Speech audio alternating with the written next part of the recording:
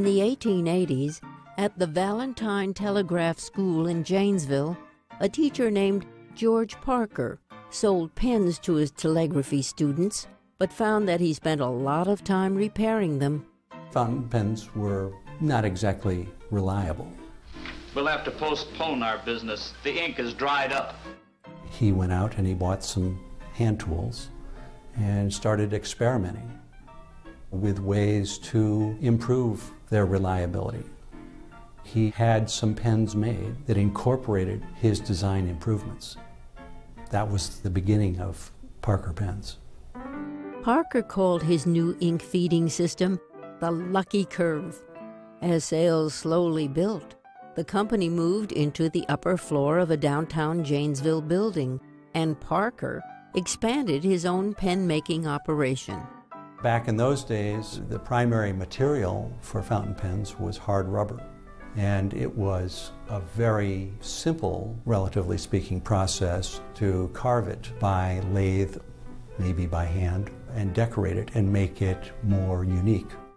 As his pens developed a good reputation across the country, George Parker began to mix business with pleasure, fulfilling his childhood dream of traveling the world while at the same time opening up new markets.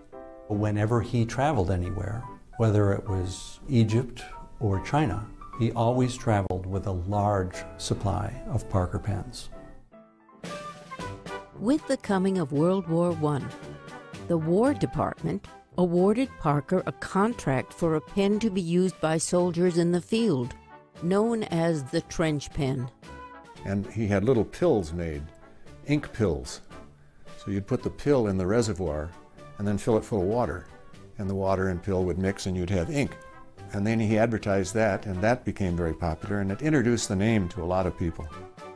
After the war, both of Parker's sons became involved in the company's management. George groomed his oldest son, Russell, to take over for him, while his second son, Kenneth, a former World War I aviator, took charge of the advertising department. With sales passing a million dollars in 1918, Parker designed a modern office and manufacturing center built in downtown Janesville, and the company would remain one of the city's largest employers for the next 70 years. At a time when most fountain pens were black, his sons convinced a reluctant George Parker to release their new Duofold pen in a way that seemed outrageous at the time. Kenneth Parker came up with an idea for a, a bright mandarin red, thick pen. And it was totally different from the rest of the market. And his father said, You're crazy, that'll never sell. It sold very well, very well. It was large. It was in your face large, but I believe in perfect sync with the times. It was flamboyant, and the 20s were nothing if they were not flamboyant. It was also somewhat expensive, and this seemed to have the effect of making it more desirable. So the Duofold was really the pen that put Parker Pen on the map. The pen that put Parker on the world map also put Janesville, Wisconsin there with it. There are really two names imprinted on the side of the pen. The Parker name is there, of course, but Janesville is there too. It showed that George was proud of his home. It showed that he was proud of the craftsmanship and the quality that was built into those pens.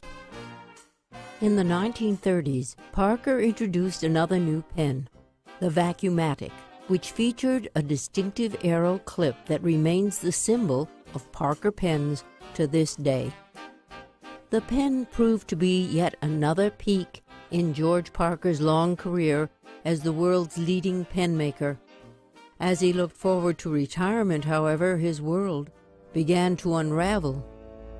George's eldest son, Russell, died very suddenly in January of 1933. It's easy for me to imagine why George would have been just crushed. A deeply saddened George Parker soon withdrew from the business that bore his name, and four years later he died. The company was now in the hands of Kenneth Parker, the risk taking aviator, who began a project to completely redesign the fountain pen from the chemistry of the ink to the point of the nib. That pen was to become the Parker 51. It's considered to be, in all likelihood, the best fountain pen ever made. At first, the sales of the 51 were slowed by World War II as the Parker plant retooled to produce bomb fuses, winning three of the military's E awards for excellence. But Parker pens also held the distinction of ending the war, as General Eisenhower sent two of his Parker 51s to be used in signing the German surrender papers. Victory with the pens of peace. In the Pacific, General MacArthur signed the Japanese surrender using his 20 year old duofold. With the end of World War II, the Parker 51 exploded in terms of sales. Production was nonstop. It was truly remarkable.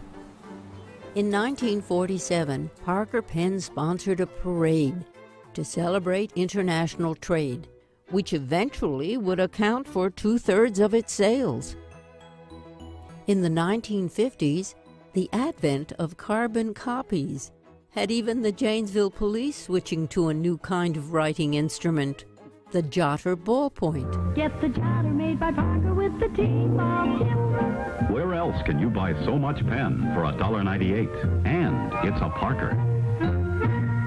Today at Janesville's Rotary Gardens, there is a memorial to the Parker Pen Company, which was sold during the leveraged buyouts of the 1980s. This is the arch that surrounded the front entrance to Parker Pen's Court Street offices and factory. And a lot of people have passed under this arch. Employees, visitors from all over the world, and all of them had something to do with Parker Pen's success. And it's terrific that this arch was preserved so that other people who've walked through those doors can come back here and remember those times.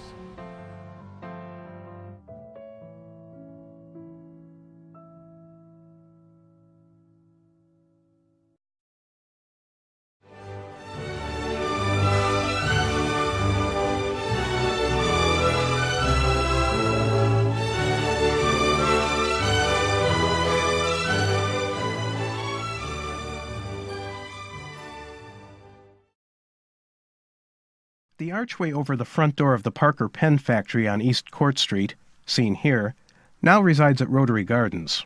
But in 1940, as Janesville's second largest employer, that archway proudly welcomed workers inside to make some of the finest pens in the world. Parker Pen was already an international success. As early as the 1920s, George Parker had made extensive world tours, establishing a network of overseas distributors for his products. When this footage was taken inside the Parker factory, the best selling Parker model was the Vacuumatic, introduced in 1933. The Vacuumatic was popular because it could hold more ink than other pens. In fact, it held over twice as much as Parker's famous Duofold pen, a pen that would be reintroduced in the 1970s as the Big Red. The Vacuumatic also marked the first appearance of the arrow style clip, which has since become Parker's most identifiable trademark. In 1939, a small blue diamond was added to the top of the arrow clip, signifying that the pen was guaranteed for life. In 1941, a few months after this footage was shot, Parker introduced the Parker 51 fountain pen, named because it was the result of research conducted in Parker's 51st year. It was so different from conventional pens that Parker promoted it as being like a pen from a different planet the Parker 51 became such a success that Parker could not make enough of them to keep up with the demand. Parker at one point even took out advertising apologizing for the shortage. In countries outside of the U.S., the Parker 51 was literally worth its weight in gold. Parker Pen's factory operations later moved to a larger facility on Janesville's north side, which was dubbed Arrow Park. Parker's headquarters remained in the building seen here, which was extensively remodeled in the 1970s to become the One Parker Place building.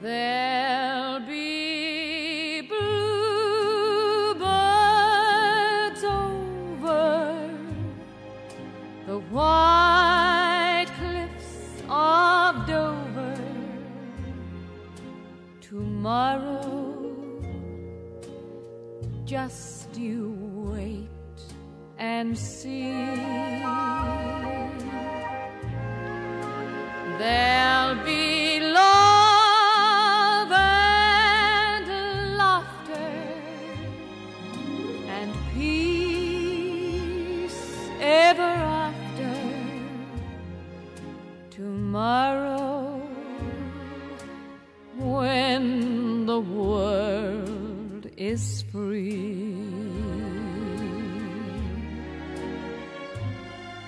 The shepherd will tend his sheep, the valley will bloom again, and Jimmy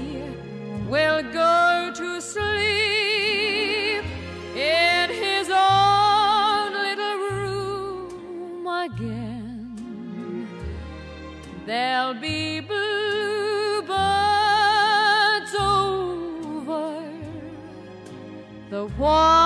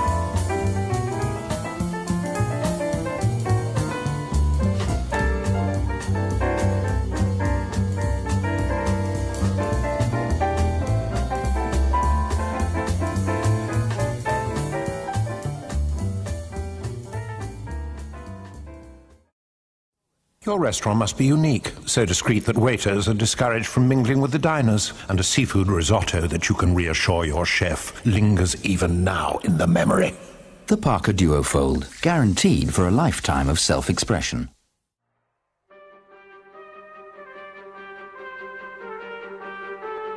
The new Duofold collection is a tribute to that early commitment and to the craftsmen who made it possible. The manufacturing process is a perfect blend of the most advanced technology with the traditional skills of human hand and eye. Designed with the aid of the latest in CAD-CAM systems, the minute veins of the ink feed unit are precisely calibrated to allow only the most controlled exchange of ink and air, regardless of the surrounding atmosphere. George Parker's goal at last. The nib itself was first produced on tools modeled by hand at the craftsman's bench. This experience fed the computer-controlled processes that produce the tungsten carbide dies that punch and form the solid gold sheet. It takes four days to complete a single nib, to weld and shape the minute ball of rare metals to the tip, which provides the characteristic smooth flow across the page. Each nib is slit by hand, using an almost invisibly fine blade, then polished for more than two days in a softly turning drum full of walnut shells and wax. The famous Parker arrow is added in ruthenium, and the nib polished again by hand to final perfection.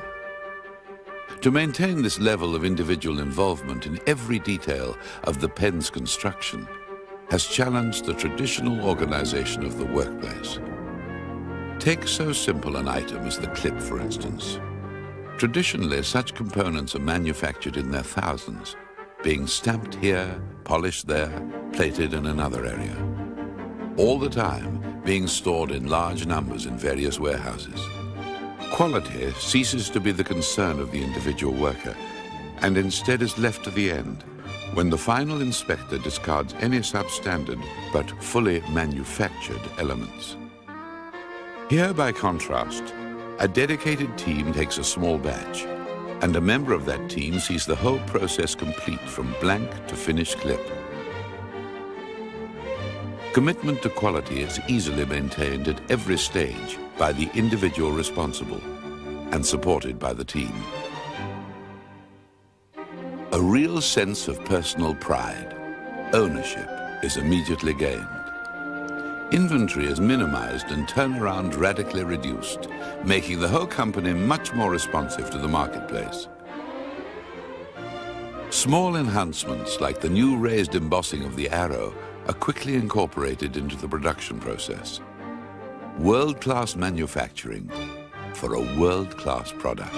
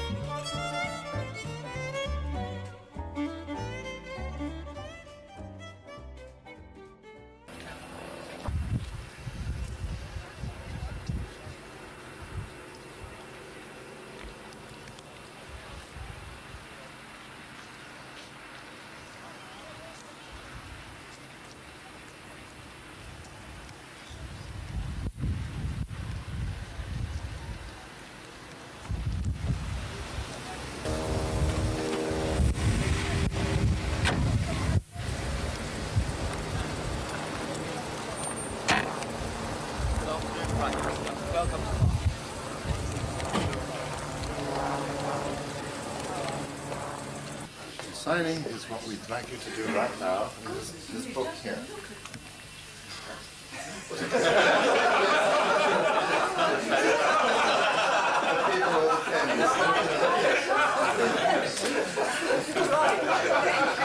As large as you like. Now,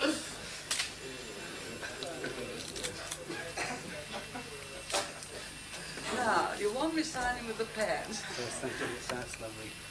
Super. Thank you, Prentice. Right. Thank you. We'll show you some. Following on from... Yes, right. Thank you. Following on from uh, Australia, I'd like to show you how we use the tests.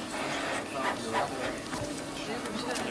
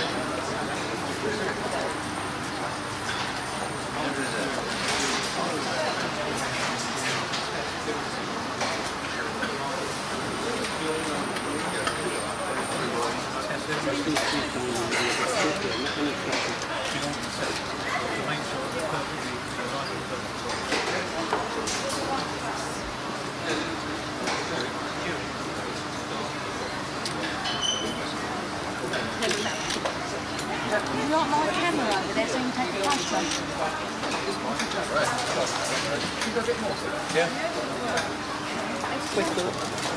Yes.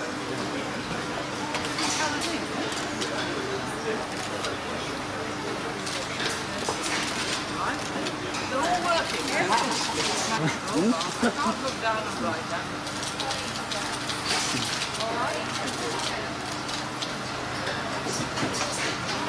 Tenth Prime Minister. Yes, I can't October. Um,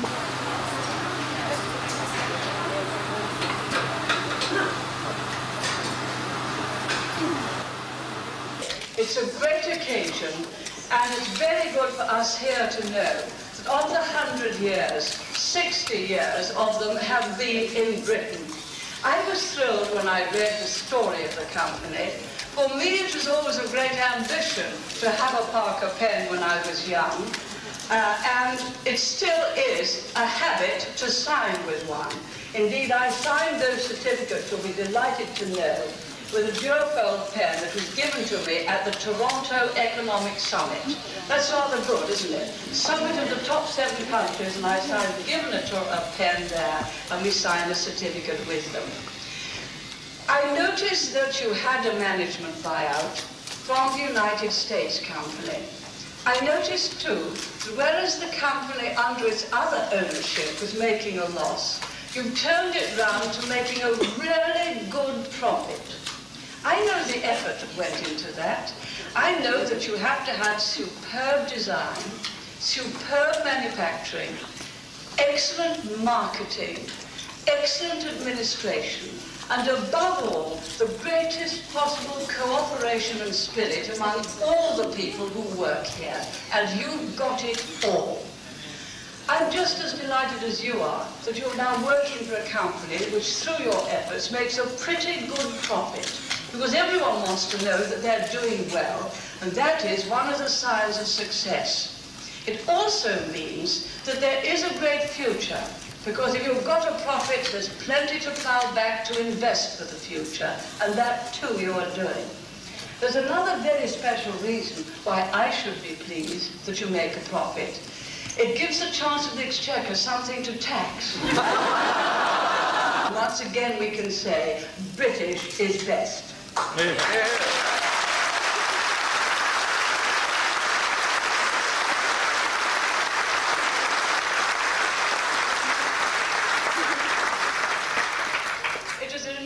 privilege for me to be able to present those long service certificates, particularly when it came to 47 years service, because I've only done 30 years, so there's hope for me here.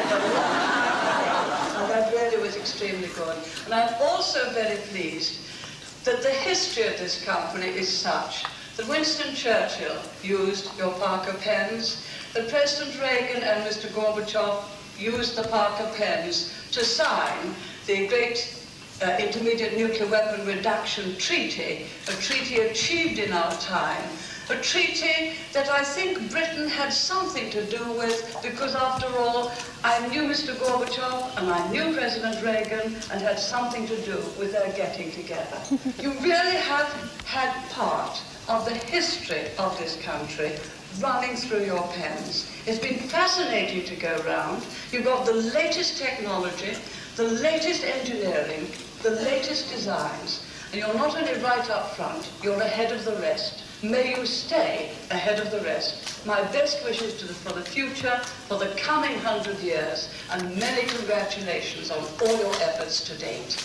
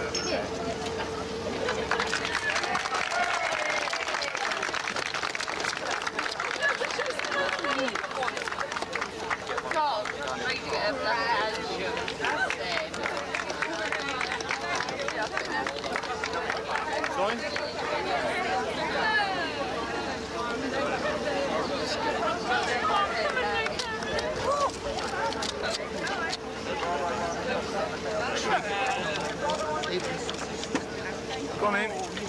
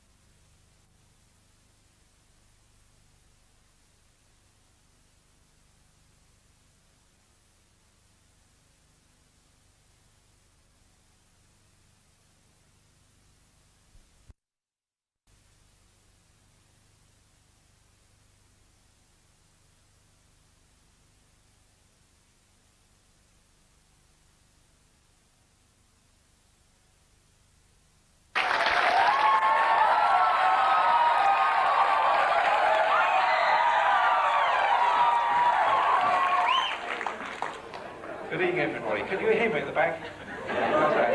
They're all getting bubbly behind, so we must get on with this.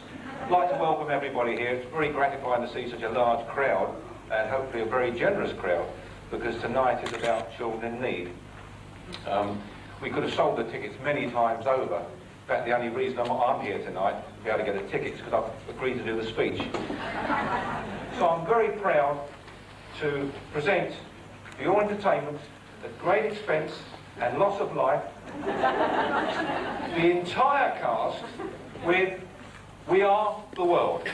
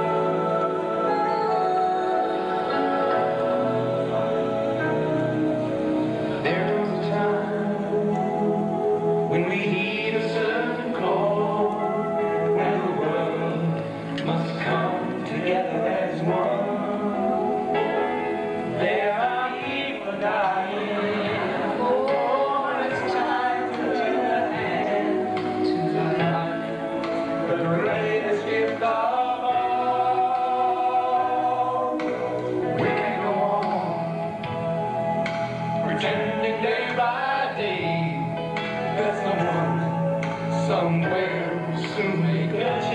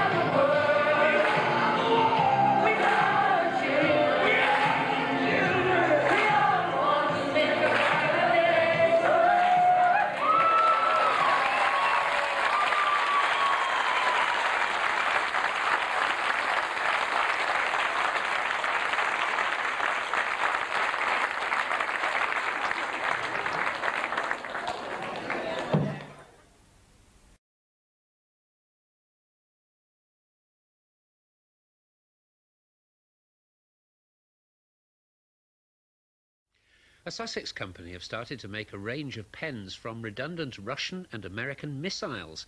The Parker Company, based at Newhaven, are calling them peace pens and will give the profits to a special fund for disaster relief. Well, today the scheme received the blessing of a Russian Red Army colonel. Mark Bishop reports. Colonel? It was the first time a commander of Russian nuclear forces has been outside the Soviet Union. Today he was in Newhaven, where he arrived 40 minutes late for his tour of Parker Pen. But after meeting Chairman Jack Margry, he was quickly into his stride around the shop floor, where he was shown how former missile components have been turned into fountain pens. Well, it may look like a piece of old bathtub, but it's not. It's part of an old SS Pershing missile. It's been smelted down into one of these ingots, and then after it's been smelted even more, this is the end product. A wonderful fountain pen, 185 pounds. Through the help of an interpreter, Colonel Kalugin said he was pleased that the Russian SS-20 and American Pershing missiles were now firing blanks and raising money for a good cause. Прекрасный процесс, я считаю. He thinks it, it is a wonderful thing that we turning missiles into pens. Finally. Это очень благородное дело, которым And it сейчас is very занимаемся. peaceful and very honorable. All profits from the sales of the special pens will go to the Memorial Fund for disaster relief. Colonel Kalugin now has his own Parker pen. He does have six others, but they're all Russian, and not one of them, he says, has a hidden microphone. Mark Bishop, Coast to Coast, Newhaven.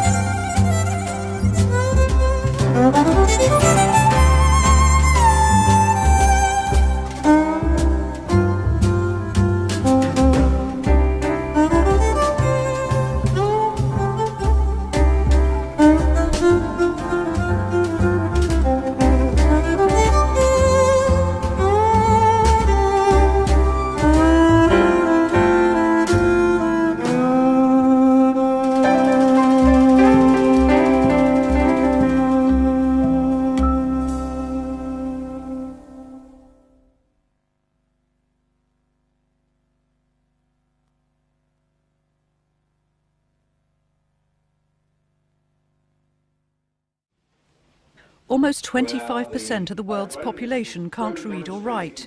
Today, the Parker Pen Company, UNICEF, and Lord Attenborough launched a global campaign to make a difference.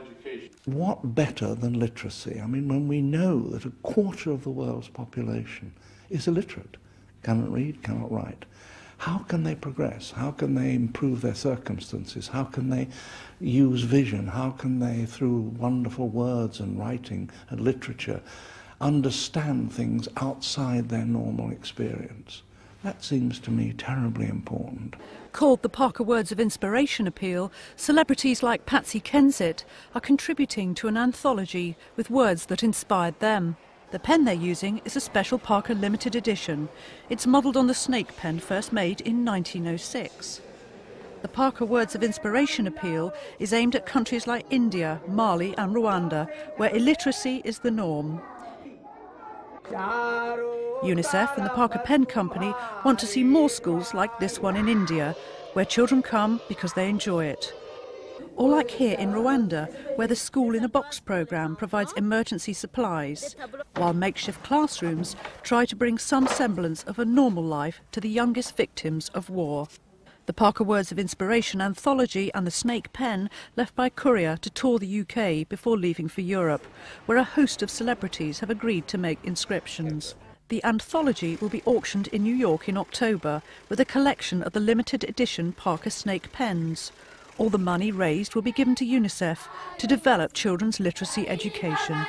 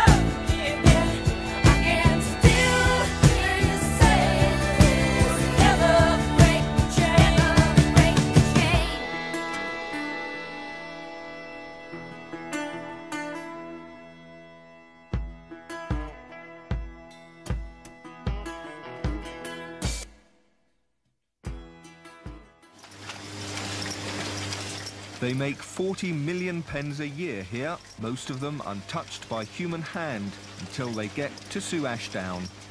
This job is called spotting and basically all I'm doing is checking the nibs and making sure there aren't any defects and then we write a test with them to make sure that they're writing okay, nice and smoothly.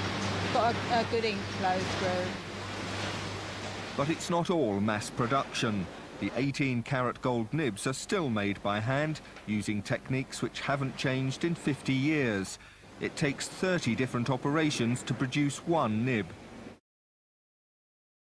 Well, this is quite interesting because this is a pen that was made for the soldiers in the First World War. It's called a trench pen. And the thing about this was that uh, the soldiers out there in the trenches couldn't obviously go and buy bottles of ink. So they had uh, tablets of black pigment contained inside the pen, which when dropped into a small beaker of water or a small container of water, turned into ink, they could fill the pen and they could write home to their loved ones. In 1948, the company opened a factory in Newhaven. Pony Eager was one of its first employees, making pens which were then very much a luxury item. In those days, all of the nibs that was in the pens were 14 carat or 18 carat gold.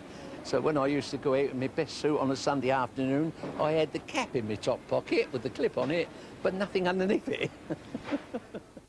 then as now, the company employed large numbers of women to do the delicate nib work. One of them was Pony's wife, Pearl.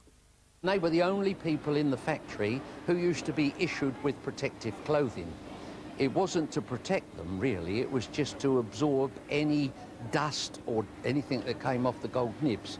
And at the end of the week, all those overalls and caps would be thrown into the wash basket and they would be laundered in a special laundry room and the washings and the sludge would go into a great big tank. And every six months, Johnson Matthey would come down and collect that sludge and take it back to their factory and extract the gold from that sludge.